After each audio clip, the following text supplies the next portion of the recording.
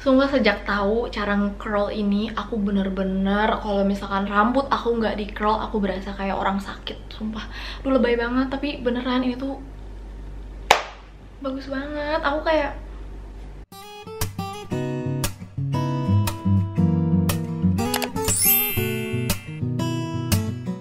Hai guys, jadi aku baru aja keramas dan ngeringin rambut aku pakai hair dryer ini. Harganya under 100 ribu, cuma 80 ribuan aja dan menurut aku worth it.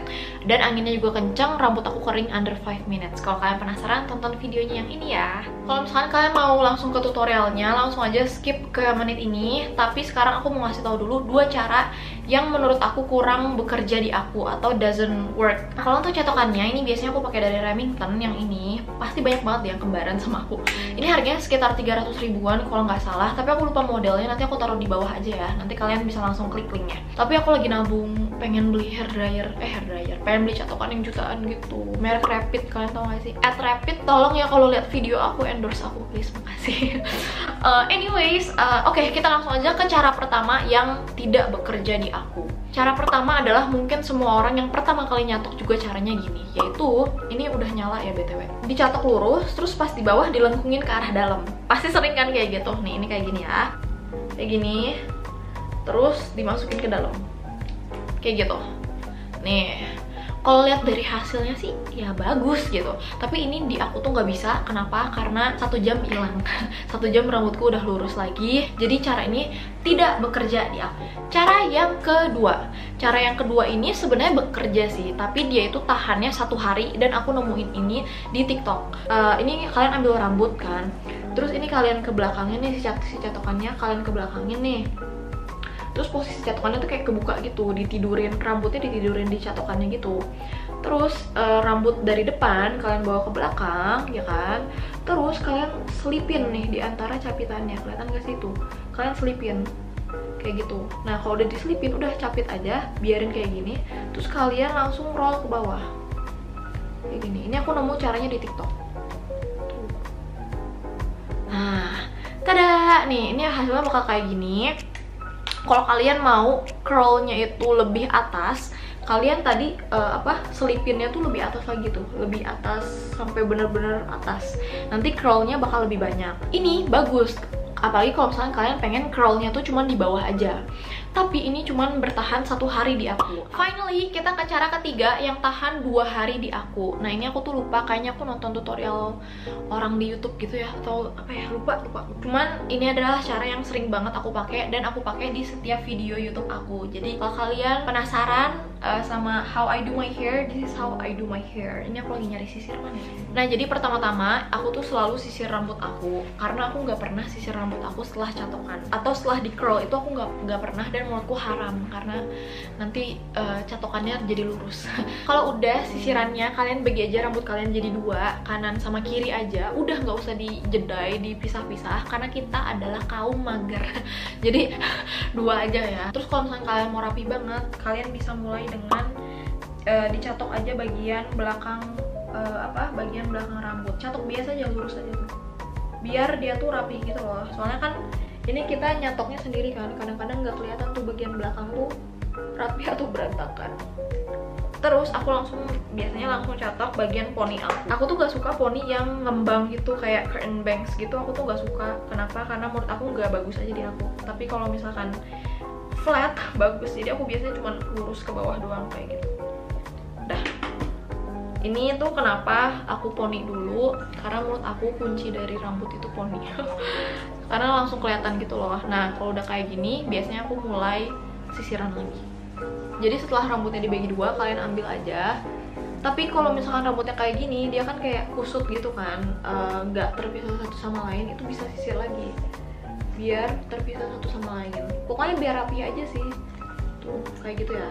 Nah ini caranya itu adalah kalian bisa latihan dulu sambil uh, catokannya dimatiin ya. Jadi kalian ambil rambut ngasal aja. Ini aku ngambil sekitar segini. Udah ngasal aja nggak apa-apa. Terus ini catokan kalian udah dinyalain udah panas uh, dari posisi kayak gini kalian terbalikin gitu kan. Terus kalian capit rambut kalian. Habis dicapit kalian puter uh, puter ke arah luar. Ke arah luar rambut alias ke belakang kayak gitu. Kayak gini kalian terbalikin oke? okay? Terus kalian jepit dan kalian putar ke arah luar. Ini kita praktekin ya. Si terbalik putar ke arah belakang lepasin rambut pegang yang ini putar udah catok ke bawah. Tuh catok catok catok sampai habis. Aku nggak nah sorry sorry nah nanti tuh hasilnya jadi kayak gini. Curlnya tuh curl banget gitu sih. Terus aku biasanya suka pelintir pelintirin gitu. Eh sorry sorry nih aku biasanya suka pelintir pelintirin gitu. Terus kalau udah langsung aku buang aja ke belakang. Twing kayak gitu. Biar misahin rambut yang belum dicatok dengan rambut yang sudah dicatok alias di curl. Terus langsung aja ngasal lagi aja ngambil. Dari gitu kan ini aku sisir lagi. Tapi jangan sampai kena rambut yang udah di curl ya. Tuh. Ini kan kepisah gini kan ini bagus nih. Tuh.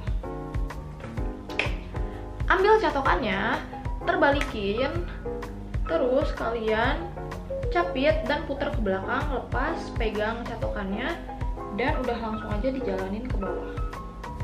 Itu kalau ada yang kayak di bawah gitu rambutnya ketinggalan nggak apa-apa ya. Nanti kita bisa terpisah macronya itu nggak apa-apa. Tuh kayak gini.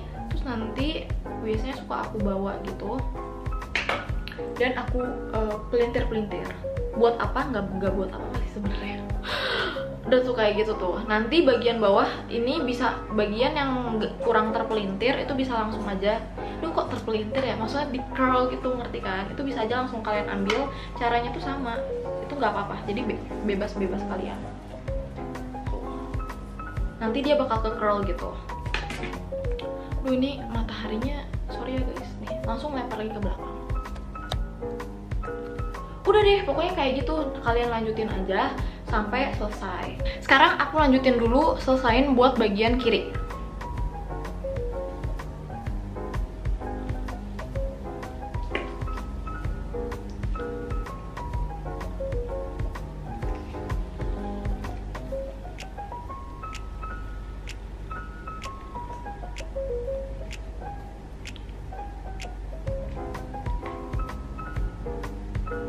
Ini aku beneran ngambilnya tuh ngasal ya guys. Aku nggak pakai kalkulasi atau apa. Secukupnya aja ngasal aja.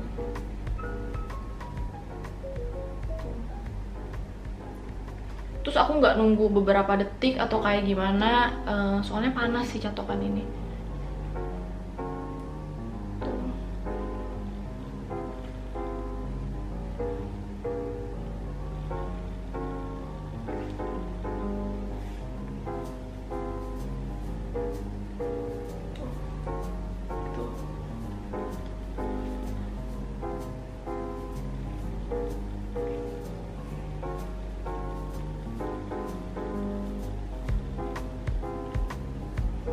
Nah ini kan ada yang ketinggalan nih, kalian bisa curl aja bebas aja bodo amat. Ngasal aja nggak apa-apa. Tuh nanti dia bakal kayak nge-curl terus biasanya aku satu-satuin gitu.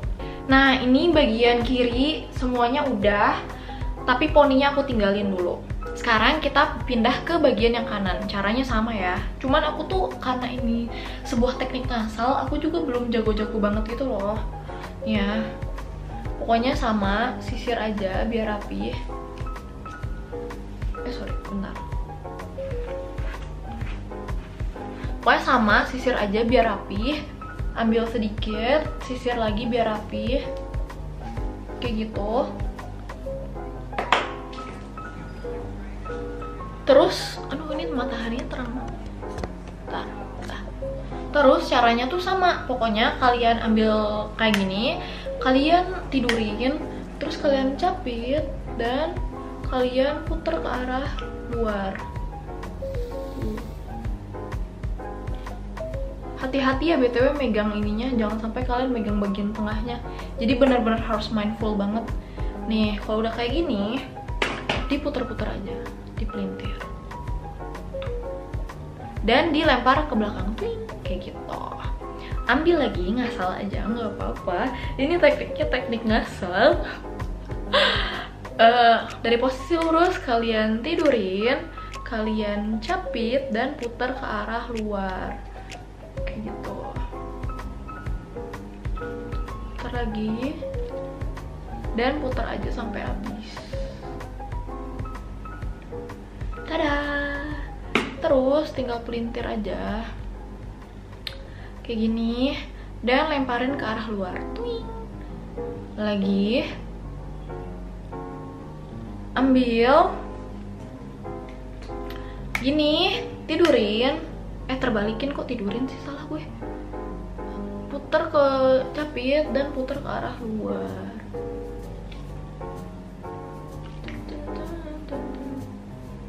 Gitu. Itu tenang aja ya kalau ada bagian yang nggak keikutan tenang aja nanti bakal ikutan. Nih udah kayak gini pelintir pelintir bebas sih mau pelintir atau enggak. Aduh sorry dan dilempar ke belakang. Terus kita lanjutin aja. Ini aku pakai ini aku ngerjain yang bawah dulu.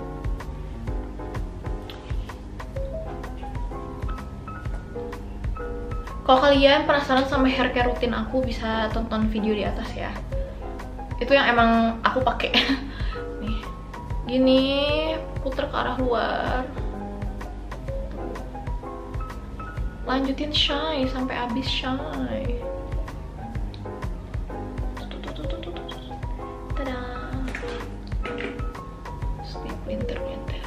Nah, by the way, disclaimer, ini tuh nanti hasil akhirnya tuh kayak bener-bener curl banget gitu kan. Cuman, uh, kalian tunggu aja. Kayak, ini tuh mungkin karena rambutnya masih panas atau apa, tapi kalian tungguin aja kayak sekitar 30 sampai 1 jam, 30 menit sampai 1 jam. Itu tuh nanti tuh bagus banget hasilnya. Jadi kayak lebih bagus lah pokoknya. Apalagi kalau sore tuh, misalkan nge-curl pagi, sorenya tuh bagus banget asli. Nih. Udah kayak gini lempar lagi ke belakang. Terus ini sama aja sih. Ingat kalau ada rambut yang gak keikutan itu gak apa-apa gak apa-apa. Santai aja gak apa-apa. Nah ini poninya kan sama-sama lagi aku kacangin gitu kan. Ini biasanya aku kayak ya udah bawa ke depan dulu.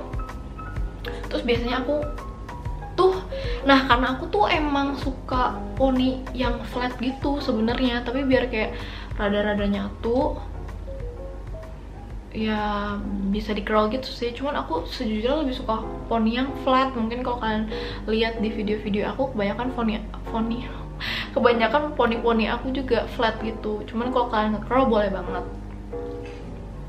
Ini tapi aku tuh bener-bener ujung banget ya nge-curl ya karena aku lagi-lagi aku tidak suka poni yang uh, poni yang curl. Aku lebih suka poni yang flat. Bagian ini juga sama. Bawahnya doang. Udah deh kayak gitu udah kayak gitu. Ini terus habis udah selesai aku langsung sisir pakai tangan gitu.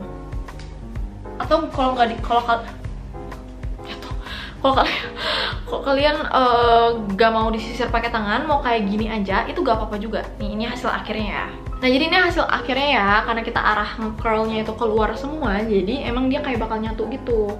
Sebenarnya banyak banget yang nyaranin kayak kalau misalkan mau lebih natural uh, curlnya tuh ke arah luar luar dalam luar dalam. Tapi aku tidak mau karena aku suka bingung ini sekarang udah di luar atau di dalam ya gitu. Jadinya aku ke arah luar semua. Dan aku suka-suka aja sih. Nih ini hasilnya kalau misalkan uh, ini poninya ganggu ya. Ini hasilnya kalau misalkan ke arah luar semua. Tuh itu bagus banget. Ini moment of truth kita bakal sisir pakai tangan bagus banget gak sih? Dan ini tuh tahan dua hari. Oh my god bagus banget. Bagus banget.